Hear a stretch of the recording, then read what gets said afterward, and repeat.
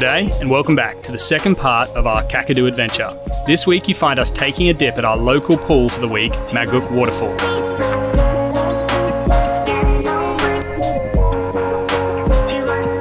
Before braving the 40 degree heat and exploring Anbangbang rock art and then Nourlangie Lookout to soak up the majesty of this stunning national park.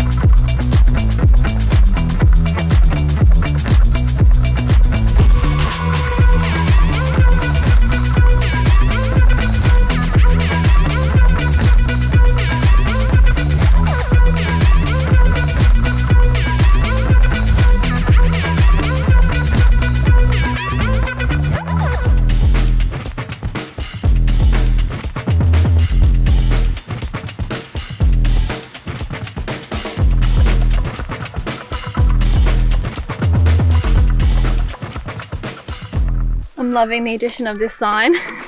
We've seen this a few places now. So you've got the obvious croc, no swimming, but even don't get too close to the water's edge because they'll get you.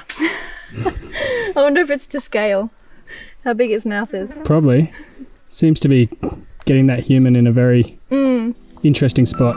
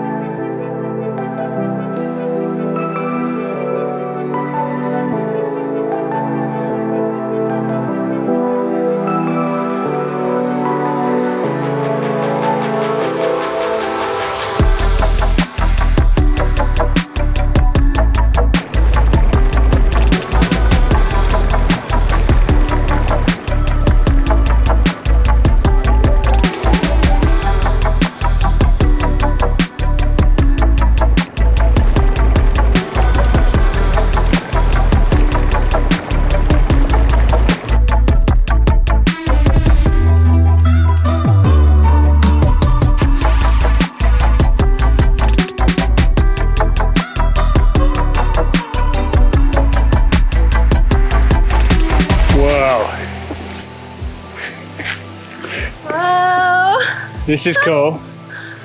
oh my goodness. We're the only ones here though, which always makes me a little bit worried about crocs, especially mm. after all those signs. Yeah, but it's a magic spot. How cool is this? It's got all this rock surrounding a pretty epic waterfall. And I can see a ton of fish in there. Very cool spot, definitely worth the walk.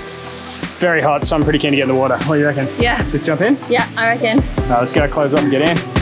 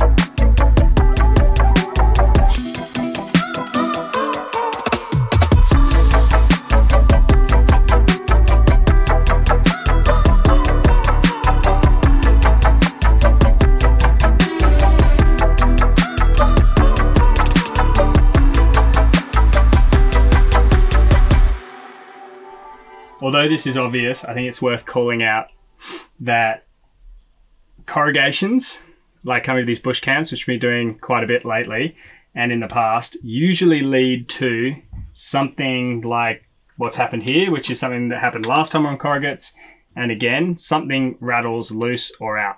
And this time it was our drawer, so we came in and the drawer had flown out again. And I'd managed to fix it last time by reattaching this and sort of putting it all back together, but I think this time it's probably beyond me fixing it because it looks like something's actually broken. But it's worth calling out that corrugates mean that you need to check your vehicle a lot. So the van has a lot of points that we're constantly finding that we need to check. A couple of these are in the windows frames here with the nuts and bolts on the side here, which aren't anti, well, don't sort of screw lock. So every time I get a little screwdriver into those, they've always loosened a bit, especially on the corrugates. And the other one's the back of the car. So the Ranger has a tray rack, and on that, the bolts are constantly needing to be checked, especially where we've fitted in things on top. It's not something we knew about that much getting on the road. It's obvious now thinking about it, and it's something that a lot of four drivers and people with vans have told us. If you're getting on corrugates, you almost need to make it as part of your you know, strip down and spin up routine to check all the bolts before you hit it again. Otherwise, things are just going to start getting worse and worse and worse and start falling off. So I might show you a couple of things that we are now checking regularly uh, and maybe it'll help you if you're ever getting a van or taking your car down corrugates. So to illustrate this point, you can see here with these screws, that's on, they were tightened before these corrugates. So each time there's a significant amount of tightening that needs to go into these and you wouldn't think much of it until you get a little screwdriver out, get in there and you start to realize, so I'm trying to do this backwards, that this actually turns quite a lot to get back to, to tight. And that's purely going down the corrugates. That rattle holding these windows in just loosens and loosens and loosens. And I bet you I can go around the whole van now, tighten each one of these. There's two on every window, and there's one, two, three, four, five, six windows. At least one side of this we'll need doing on every window. So, yeah, something to check. So, in the same vein of things that we're noticing and just things specifically to the Ranger and I guess specifically to the tray rack and also the rack or the, the tray cover that we've got on the Ranger. And I figured, you know, this is going to be different for all vehicles. And I by no means pretend to be an expert, just something we've noticed. And if we can help other people not make the mistake that we have and lose bolts and have it fall out and, you know, potentially cause bigger issues, I'd share my experiences. Um, plus, Sophie asked me to do it. So, um, a couple of things here. So, we came in and actually we've lost one of the bolts and things at the front here. And when I came and checked it again, what I think the movement of this MaxTrax, uh, you know, mount has been doing when it rattles over corrugates and also this, it started loosening all the bolts of the underlying tray rack, or sorry, rack cover. So you can see here that once again, that's loose and that's pretty loose as well.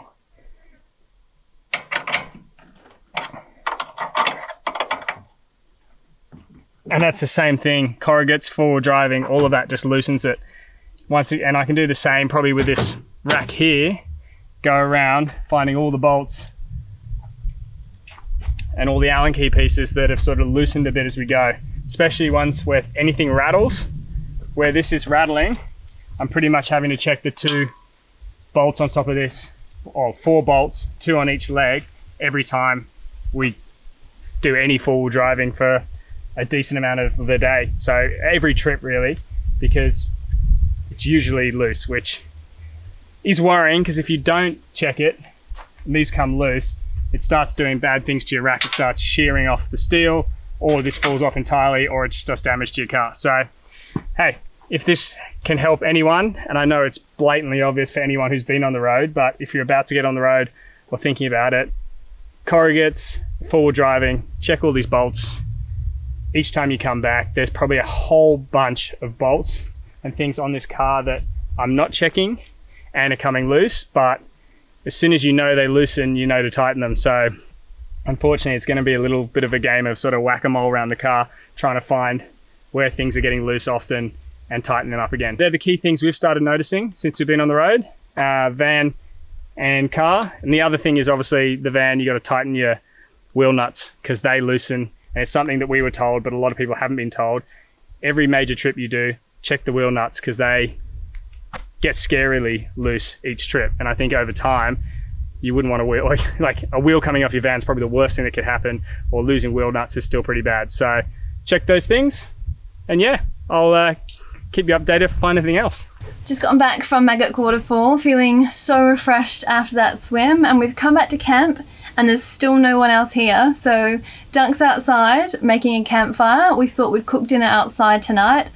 We've had a look in the fridge, and we still have so much meat left over from when Dunk bought that stuff for my birthday in Litchfield. We've picked the eye fillet, which is both of our favourites.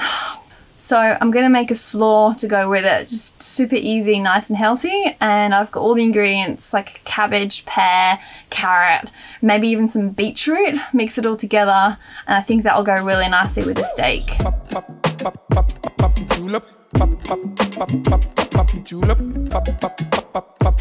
julep,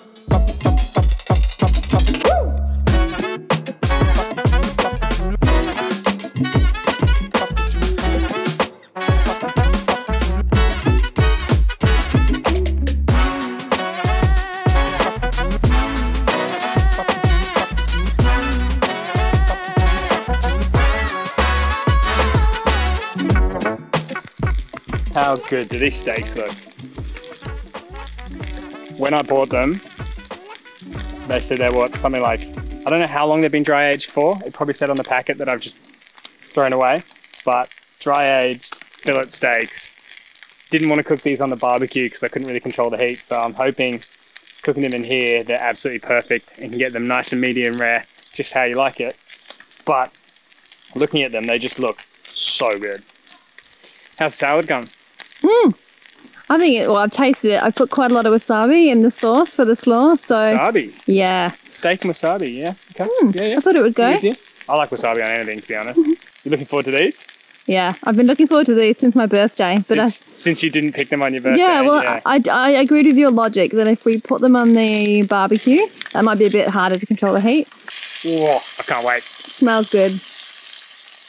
I went and collected firewood, got the fire ready to go, pre-set up so we can light that bad boy up uh, once we've had our dinner. And these are, I think these are pretty well done. I'm gonna have to pull them out now, chop them open, and it's a moment of truth. So I'm never 100% sure until I slice that first piece and see if I got medium rare or if I got rare rare and just slightly cooked edges or cooked all the way through. There are all the options. So hope they're medium rare. Let's get them out, see what we got.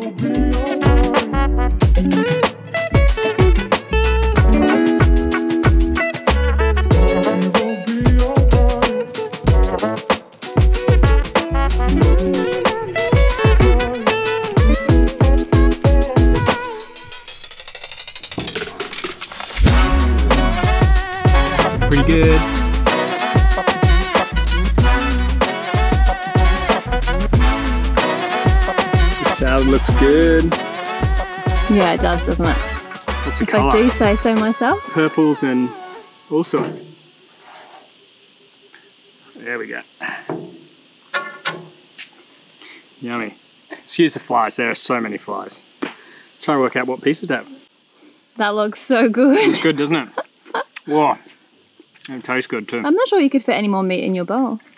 You're hiding all the salad. Good covering of fillet steak over salad. I'm not going to complain. No. Although we are trying to eat less meat, and we wouldn't usually eat this much red meat in a week, but when in Rome.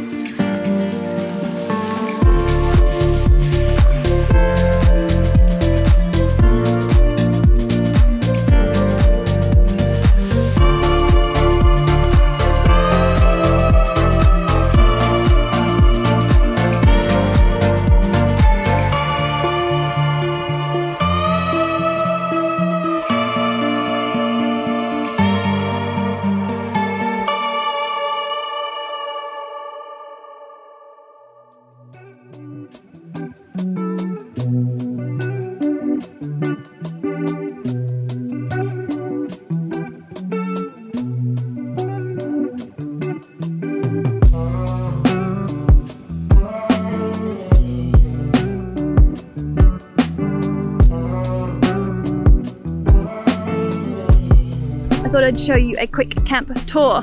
So we are staying at Maguk Campground, which I reckon is awesome. Bush camping at its best. So in Kakadu, there are heaps of places to stay. You've got full caravan parks, free camps, bush camps, the whole spectrum. We wanted to be pretty central to all of the activities because Kakadu is a lot larger than Litchfield, or at least the activities are more spread out. So unless you want to do loads of driving every day, find yourself a central base to stay at. Plus, this campground is only one kilometre away from Maguk Waterfall, which is very important when you're in 42 degree heat. We want to cool off as much as we can, so having that close by is amazing. Plus, speaking to some of the rangers, they've said that it's actually probably one of the best falls at this time of year because not all of the waterfalls have any water going over them. Uh, being pre-monsoonal season or pre-monsoon season, not all the waterfalls will have water and some get closed at this time of year, so it's best to check before you get here. The drive-in is four-wheel drive recommended. So it's quite a few corrugates coming in, pretty easy going, uh, only one small patch of a rocky stream to cross. No water here at the minute. I'd go about 60, 65 over the corrugates. That's what we found meant you could just glide. If you go too slow, you'll feel every bump and it'll take you twice as long. So camp was pretty quiet when we arrived. According to the rangers, that's a mix of COVID impact, but also because we're heading into the wet and peak was a couple of months ago. So to be expected, I suppose. It does mean though that we have had the pick of the camp spots, which is awesome.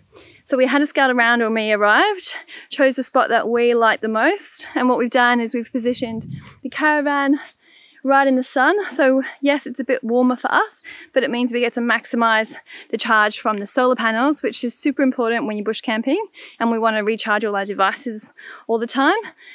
And then the next best thing about this camp spot, or actually I think most of the camp spots in this campground, is you have a designated fire pit and picnic benches, which means you don't have to pack away or get out your camping chairs. You've got somewhere nice and comfortable to sit and you can have a campfire. The last thing I want to show you is camp facilities. Here is where you pay your fees for camping. It is $6 per person for adults, three for kids. If they're under four, then they're free, and for families, it's 15. So super simple payment system, really similar to in Litchfield, all an honesty box system. So you pull out your envelope, fill in the details, detach the slip for your permit, which I forgot to do in Litchfield, attach that to your caravan, and then pop your payment in here. And then behind me is camp toilets. So long drop toilets, unfortunately no showers, but that's okay. These long drop toilets, depending on what you think about long drop toilets, they do the job. They are fine. I thought they were totally gross when I first started camping, but the more you travel, the more you actually just appreciate having a toilet nearby. And we have a toilet in our van anyway, so if you didn't want to use them, you don't have to. And actually, good thing to note, over here is a really useful turning circle. So that was super helpful for us when we were picking our spots. You don't have to do lots of maneuvering or three point turns. The camp itself is really spacious, so getting a van in and out is no problem. Maguk campground so far has been great. So far, so good. Now, I know we've done this a few times now, but, and I promise slash caveat that if there's an even better one, then I'm going to show it again. But hopefully, or maybe this will be the last termite mound, but I just had to come to this one because it's quite literally next to camp. And I saw it when I was collecting wood the other day. And it is an absolute monster. Like it's probably the same or similar height to one of the ones we saw before, but it's just huge hmm. all the way around. It's like the biggest example, you know, what are they called? Cathedral? Yeah.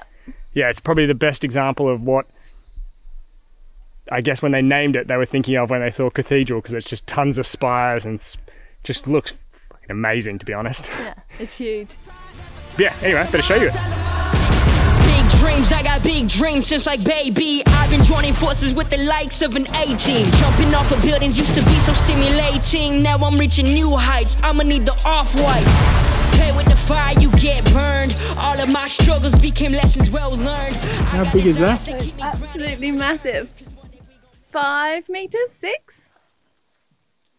I think that's as big as they get, right? Yeah, the sign I read in the Litchfield said they get to about five meters, but I, could be topping six. I don't know. It's huge. And it's so wide, isn't it? I found this when I was looking for firewood the other day, and I thought I just had to come and show you it because I know it's another termite mound, but it is truly monstrous. And I was walking around it, and I was just in awe of how big it was. When you walk around it, it's just like huge and imposing. And I thought it was a really cool thing because I came around and spot, spotted this, which is like a new offshoot. I thought it was a good example of how the cathedral ones form because you quite literally just have this little base here that's come out and forming into what will be another spire up the side as it keeps getting added to and added to. And you can see, I'm going to tap it really gently, but like it's pretty fragile. And it's got like the base is probably only about that big, which is insane because you think how big and hard wearing these structures are. And it all starts with these little offshoots. And obviously how it gets its name cathedral termite mounds. I can see what you mean in this one way more than the others, where you're saying that animals like lizards and stuff can hide in here during bushfires. Mm-hmm. Because around this one, you actually have like almost like cave walls around each of these. I think we're hard pressed to find a better one than this, so I think this will be the last termite mound that we show. You've said that before. I've said that before, unless there's a way bigger one. But yeah, I um I had to come and I was collecting firewood. I had to come and take you to this one, Soph, because I thought it was pretty cool. And you Yeah. like termite mounds. Yeah, I do. This is very impressive. The king is back like prodigal. I've been gone. I gave him time, it's been too long. Was silent calm, but now the storm is right on. I'm not the one you can't ignore. I never apologize and I feel the pressure is on me. Luckily, I've been out here building an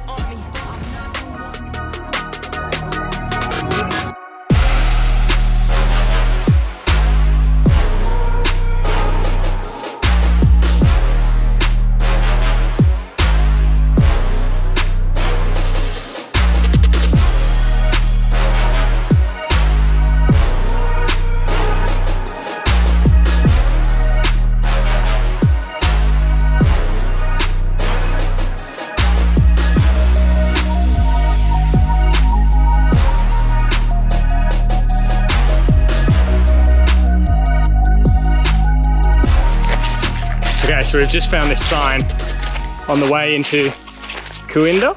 Yeah. And You picked the easy word to say. yeah, I still struggled though. Sophie's gonna give us her pronunciation of the sign. So yellow water, translating to the indigenous name is righto. Yellow water. Now this is this is really hard. Okay, I'm not going to do this justice at all. Nurengurjiba, and then if you say it faster, Nurengurjiba. Mm, mm, do you yeah, um, I'm, I'm trying to work it out myself. Nurungajiba. Yeah, oh man, like I'm dyslexic, so this isn't going to help me. Nurengurjiba. I just I just had to stop because I couldn't believe just how long that word was. Starting from one side to the other.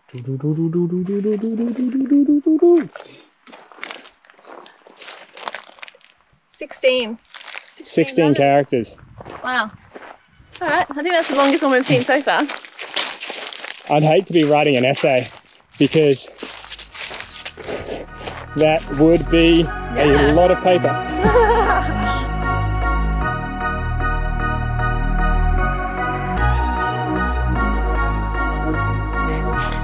So we've come into the Nourlangie region of Kakadu today.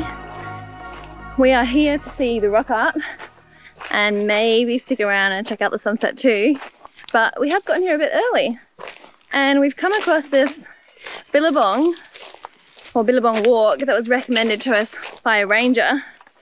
So we found the side of the path and heading down there and I don't know if you guys can hear, but there's a lot of bird noise in the trees.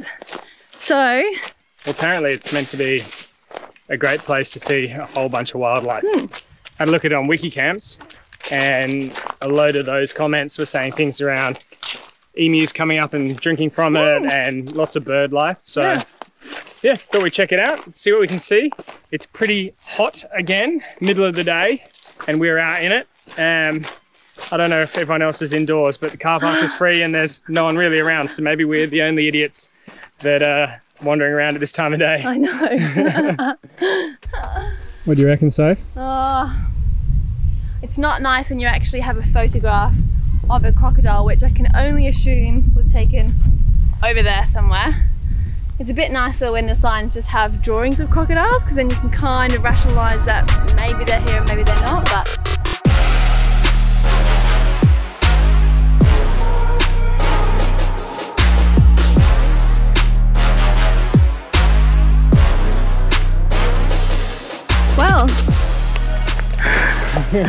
ta-da! You can see this lovely billabong behind me. Probably didn't really do our homework or use our brains and think that there wouldn't be any water in it because it's dry season.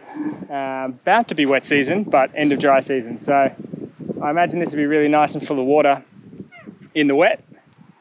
Cool rock behind us, which I think is what we're going to capture later at sunset. But yeah, I don't think we're in any risk of seeing any crocs here. I think that sign was probably meant for, for wet season. Um, and not a whole lot of bird life because, once again, there's no water. And I think water would have been what would have attracted the animal life. Although, there's a little um, yellow crested cockatoo up there.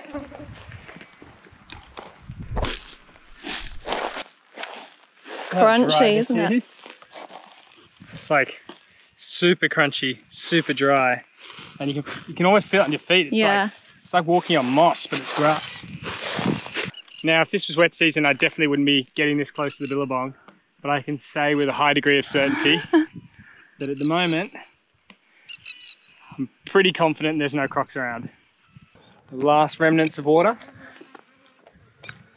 Yeah. or slightly damp, muddy ground. I can't wait to get up on those rocks. Yeah. So do you reckon we can get up there? Is that where the is? Yeah, the lookout's up there. I'm not sure exactly where on the rock, but I think we best go have a look. And we've got the rock art to check out as well. That'd be cool. I'm glad we did the little walk. It was only what five mi- five Yeah. minutes, ten minutes from the car park.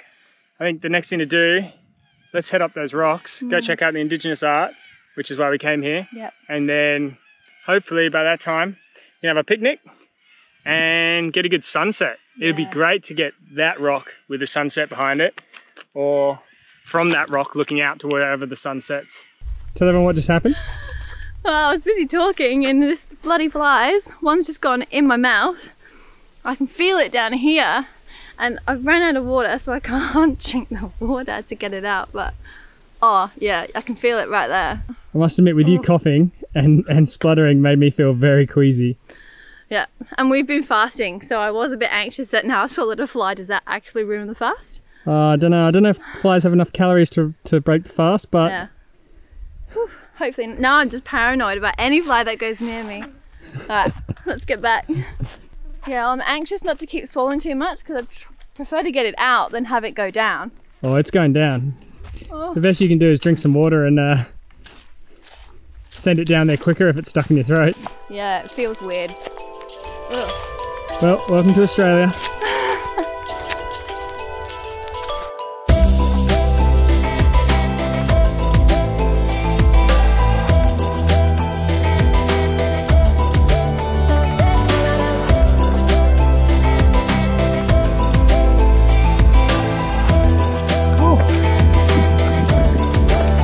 you read that sign about temperature difference? No, what did it say? It's about how in high heat, like a 15 degree temperature difference can cause loads more illnesses and so on. Oh wow. Uh, it's what, 40 something today? Yeah. Definitely feeling the lightheadedness when you go down and like stand up quickly. And we're drinking a ton of water as well. Yeah. Two bottles. Maybe we need to get some salt. The first time I ever going to prescribe chucking a bunch of salt on dinner. Yeah. We need it. We're sweating so much today. Replace, yeah, you gotta think how much you've sweated. Sweating liters. Uh, which way? Right or left? Ah, let's go left. Okay.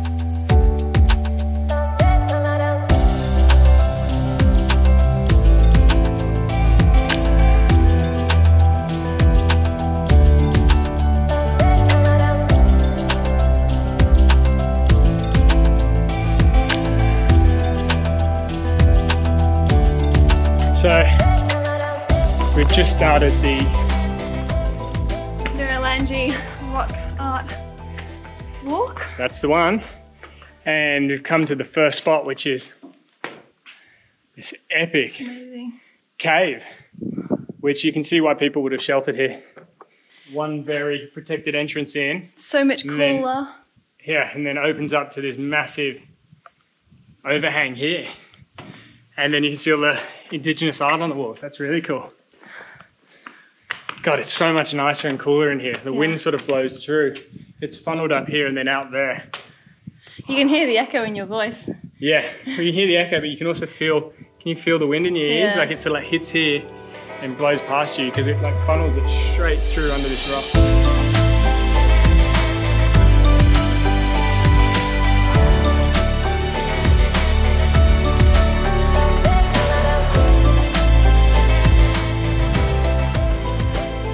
I was just reading the sign over here, Soph, and it was talking about they used to shelter here in October, December, so almost around the same time we're here Yeah.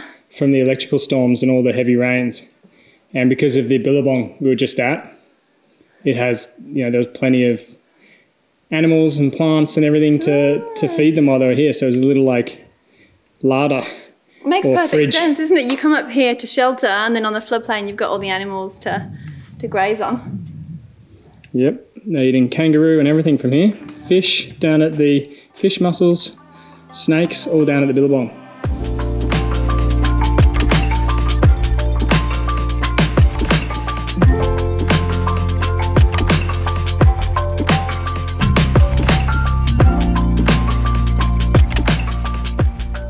Very different styles, all sort of jumbled in, and I was sort of wondering why that was because there's you know some are really intricate really detailed lots of different colors and others are just big rocky shapes of like kangaroos or people running. And apparently it's just over the time different styles have emerged and it's common for them to be layered over the top of each other. And that's actually how they date them. But that's why you'll see like a kangaroo incredibly detailed over the top of you know, like almost a, a stick figure or a very, very, you know, tribal man running with a with a spear, and you, that massive blocky kangaroo there. But yeah, I didn't know that, so it's pretty cool. Just in case you were thinking about it, so no walking, obviously, but no cars either.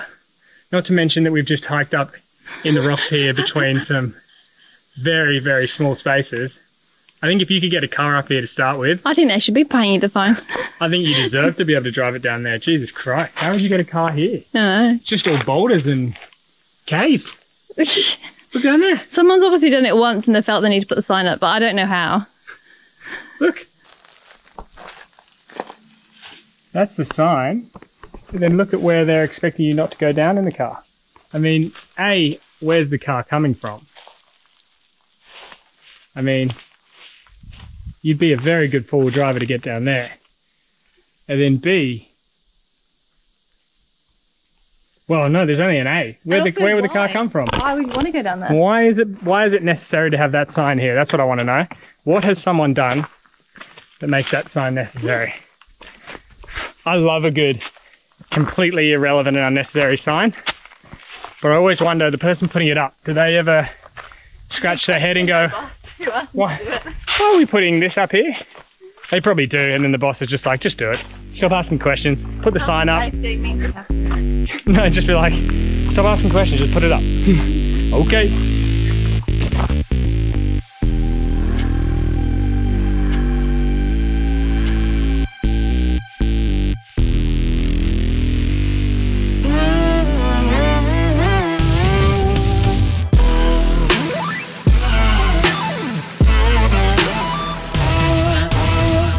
Feel like I keep drinking water, but I can't quench the thirst.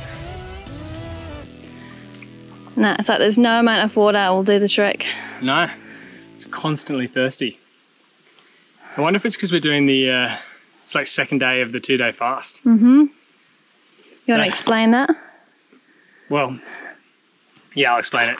Because we've been listening to the book, it's called Lifespan, Uh, and in that, there's a load of takeaways, but I'm going to wait until we've finished the book to talk about all the takeaways. But one of them, we already did this. We already did 16-8 fasting, just missing breakfast, not eating, you know, for for 16 hours of the day effectively. And listening to the book just encouraged us to push a little bit further. So yesterday and today we've done all day fasts. I don't know if they're called all day fasts because you technically eat some dinner, but our dinners have been super healthy and super low calorie. So kind of doing yeah two days of pretty pretty interesting fasting for us in the heat. So I don't know if it's the smartest decision. It has helped because you're not hungry because it's so hot. So that makes the fast easier to do. But I have been feeling quite lightheaded and I can't work out if it's just water and sweating and heat, which it very well could be, or if it's the fasting, or if it's just a mix of the two. So just trying to keep hydrated, drink lots of water, should be fine. How many of these symptoms do you have? Well, what was I just talking about? Feeling thirsty and dry mouth. Tick. Yeah, if it said no matter what, how much water you drink, then I would definitely agree. Tiredness. Yeah, check. Headache and dizziness. Yeah, check. Especially like getting up super dizzy. Pale, cool, and clammy skin. Hmm. Well, we're sweating all the time. I don't know if I've gone full fainty pale skin yet, No. so maybe not in the last one. What does it say? Avoidance signs of heat illness. Advanced. Oh, advanced, sorry. Vomiting, cramping, irritable, mental confusion, skin flush, usually dry. Well, I agree with most of that sign. I think we're okay at the moment. Yeah, we're fine. Think enough water, but it is something you don't really think about till you come here. Just being out all day in the sun hmm. and the heat really gets to you. I'm looking forward to getting back. I I won't think I'd ever say it, but I am looking forward to getting back to the coastline, a bit more cool climate. I think I've reached my peak in how hot I want to be. I don't know how people live in deserts. I just, oof. Anyway, Yeah. up to this lookout. It's only 500 meters up a, another rock climb, but when in Rome, you got to do it. Regret it if you don't.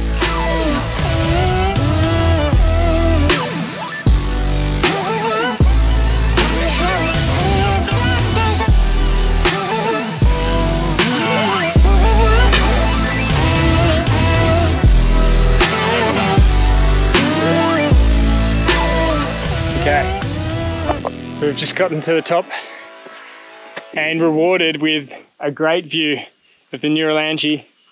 And I'm probably pronouncing that wrong again, aren't I? the Nourlangie rock here. Really cool coloration in the stone. You've got the oranges and the blacks, and it just looks like it's almost been painted. And then you're in the tree canopy. So the lookout's exactly at the same level as the top of these gum trees. So it almost looks like you're just floating in the canopy, which is epic. And that's like neon green. Yeah. Like it's, it's so green, so orange. It's like nature's just turbocharged here. I was reading one of the signs down there and it said about the lightning god who apparently lives above this stone, Mm. Yeah. which is quite cool. Or the lightning man. the lightning man, that sorry, not lightning god. Lightning and the pre-monsoon season, which is October to December, isn't it? Yeah. Right for those big ferocious storms that we kind of saw the other night. We saw a lot of thunder and lightning in the skies, but nothing really hit us. But you can see how it get pretty crazy here in the wet, which we might just get out in front of, to be honest. But I think now probably time for us to go find a good spot for our dinner, picnic, Yeah. and sunset. So off we go. So as usual, we've been mispronouncing everything, but this time it wasn't necessarily our fault because what we were calling it, Nourlangie Rock, is what Westerners or you know white Australians sort of mispronounced it to be because it's a rock nearby, and the top rock, the outcrop that we just were at the look the viewing platform for, is actually called pronounced Burrungkuy, Burrungkuy, and the lower area is pronounced Anbangbang. Yeah. An Bon Bon. Okay, so apologies for mispronouncing that. Apparently, when um, Westerners originally came, they were told the area was Nourlangie Rock, and then they mistook all of these rocks for that. So the parks are actually asking people to pronounce it correctly. So apologies for mispronouncing it, and that's how you pronounce it.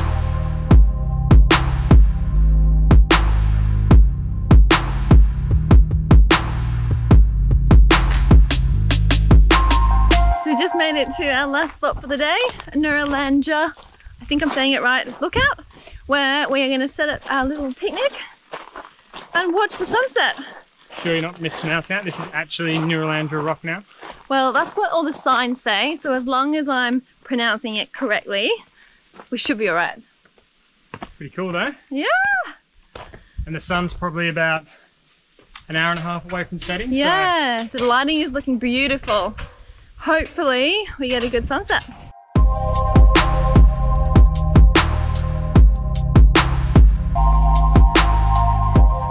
How cool is this? This is like an even better view than the viewing platform we were on before. Yeah. And you get a sense for just how green this place is. It's just a mat. It's like these rock formations and then just a massive green as far as the eye can see. This really makes me realize why Kakadu is a UNESCO World Heritage Listed mm-hmm. site. You just look back here, like you can see all the birds, all the cockatoos, everything. Rock formations, there's even a bloody rainbow there. Green as far as the eye can see, only stopping at massive rock mountains. Very cool. Yeah, I mean, I must admit, this is the first time since we've been here that I've really got to see Kakadu from the air like this. And yeah, loving it.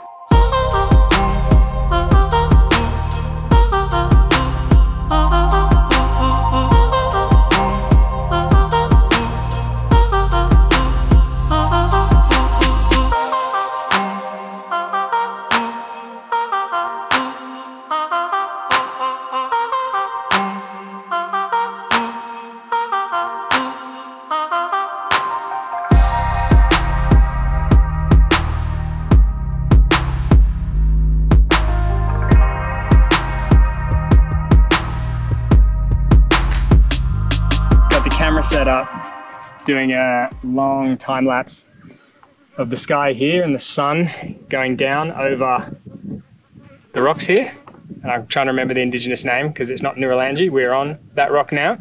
The sun's actually setting behind us, so at the moment the rock face is all lit up. So it'd be really interesting to see what happens over time as the sun goes down. Is this all going to turn into reds and purples and everything? I've got fingers crossed it is pretty cool to see across this escarpment here that there's this floodplain, the Billabong where we were, and then you got these big, massive clouds, and over there you can actually see the rain coming down from it. So we're sitting here, it's hot, we're in the sun, and you look over there and you can see so far that you just see these massive verticals of rain coming out of the clouds, and we're sitting here eating Vegemite shapes. How much more Aussie do you want to get than that?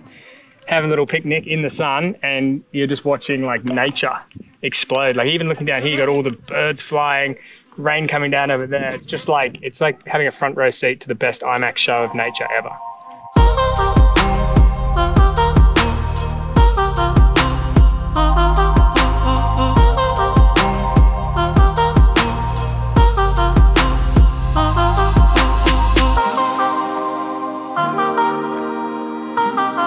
The flies. I know. They're bugging me.